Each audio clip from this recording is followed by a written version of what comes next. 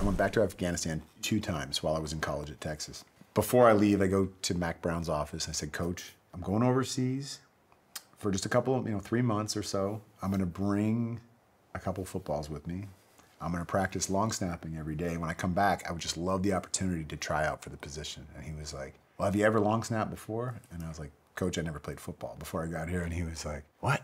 He I didn't know that. And he's like, All right. He's like, Yeah, sure. Why not? You know, of course, we'll, we'll let you try out for it. And, you know, of course, in his mind, he's like, You're not going to figure this thing out in a few months. But I snapped 100 balls a day when I was over there. I built targets out of plywood.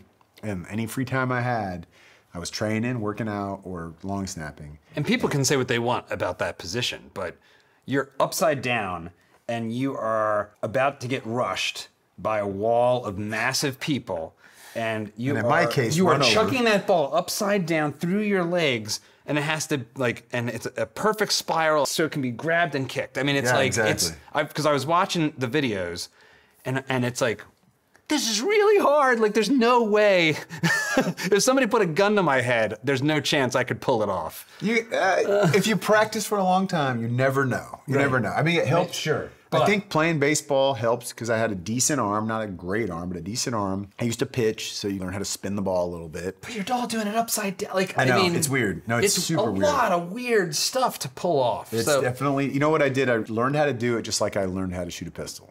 And it was like one piece at, the, at a time. When we were trained in you know some of the marksmanship courses, we drew the pistol out of our holster to here for days before they let us put a brown in the chamber and even you know squeeze one off downrange. So it was like we're just practicing that one little motion. So I am laying on my back, just spinning it, you know, getting the grip, spinning it until I'm getting tight spirals and and just like all wrists, like getting the getting that Yeah. uh, perfected as best as I could. And then I'm lifting weights out of that stance. So I'm doing like Olympic lifts, like cleans and things that make sense for that explosive movement of launching that thing through your legs because it is like a violent motion. But yeah, I just worked on that, worked on that, and I came back and we're, we're in training camp and trying out for the long snapping position. There's like 10 other guys that are kind of in the mix. Yeah. They'd recruited a couple people to do it. And every day I'm like, I'm bumping up the depth chart. And eventually I get to two on the depth chart before the first game. So the first game is played. I'm not starting, but I'm the backup.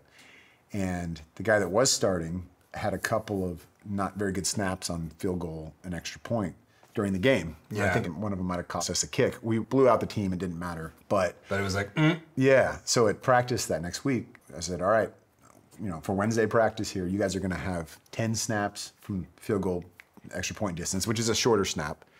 He was already going to be the punt guy. Like he had done well on punt, at least that, that first game. And so whoever has the better snaps out of the 10 gets to start on Saturday. And, and I won that competition. And so I started three straight years after that. And then the next season, I beat him out for the punt position too. So I ended up doing both punts and, and field goal and extra points. But yeah, I went from never snapping a ball to just a few months later, like starting at that. But it's because I put so many repetitions in.